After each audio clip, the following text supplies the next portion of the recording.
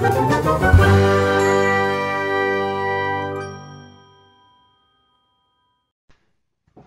there, my name is Martin Daley. I am a member of the Crime Writers Association and this video is part of the Inspirations series.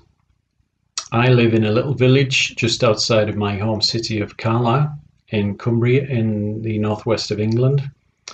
Uh, and that's probably my first inspiration actually, my home city. It's uh, rich in history, dates back to Roman times and there's all sorts of um, intrigue and interest involved in the city. Never get tired of delving into the city's history to uh, to find some inspiration. As far as my writing is concerned, I write uh, the Inspector Armstrong series. Inspector Cornelius Armstrong is a detective inspector in where else but Carlisle. Uh, there are three books in the series. As I sit here, uh, as you probably watch this uh, video, there'll be book four out, which is due on the 1st of December of this year, uh, 2020. And um, he is a detective inspector around the turn of the 19th, 20th century.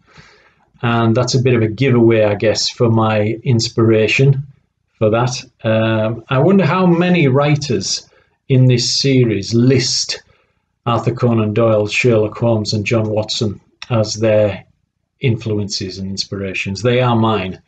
Uh, I love those characters. They're probably my two favourite literary characters. I set a, an adventure of theirs in Carlisle uh, some years ago, and in that uh, little novel, I introduced Cornelius Armstrong.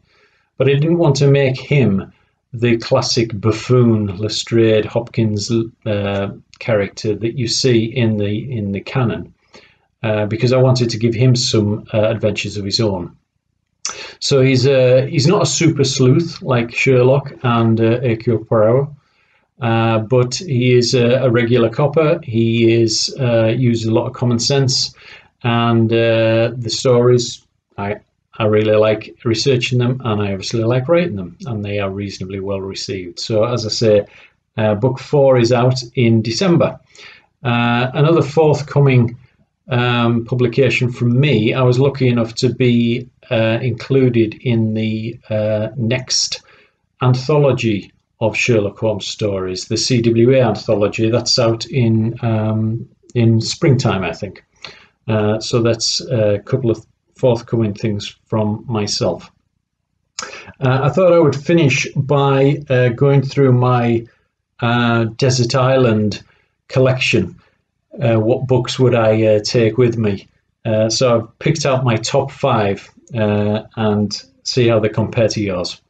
Although Holmes and Watson are my favourite literary characters, my favourite book of all time, I would suggest, is Dumas' Three Musketeers terrific book. I read it as a kid and I always go back to it. It's full of intrigue, adventure, betrayal, romance, action, and a bit of crime fiction as well, a bit of crime detection along the way. Terrific book. I love the, the Three Musketeers. Uh, number two on the hit list, well, what else but the canon? It has to be, doesn't it?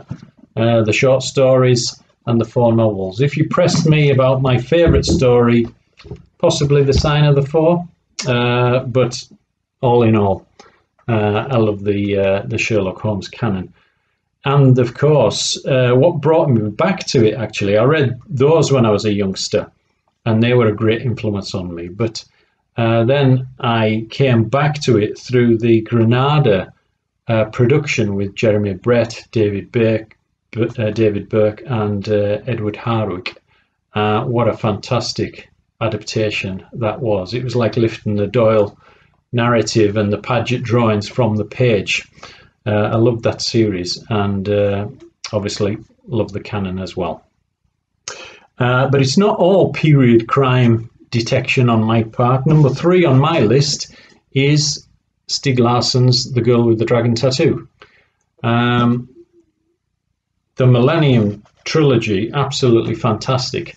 Um, pity uh, the great Stieg Larsson wasn't around to see the success, but uh, uh, really love the, those stories. Uh, a bit of non-fiction uh, would be Simon Schama's History of Britain. um, again, great stories, great reference material. Uh, love that particular series, love those books. And last but by no means least, anything really from Charles Cumming. Uh, I love Charles Cumming. Uh, I picked out the Trinity Six, but it could be could be any one of his uh, any one of his novels, really, any one of his series. So that's a little bit about me, my tastes, my likes, uh, my preferences, and my influences. Uh, if you want to know a little bit about me or get in touch, uh, my website is www.martindaley.co.uk. Uh, I hope you look after yourselves, stay safe in these crazy times, um, and happy reading, happy writing, and we'll see you soon. Bye bye for now.